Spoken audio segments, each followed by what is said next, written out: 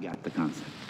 So let me just ask: Is this kid gonna mess up my hostile takeover bid, or what? What do you think? Oh, no, you don't. We're not supposed to reveal the future. Please, my fate is in your lovely hands.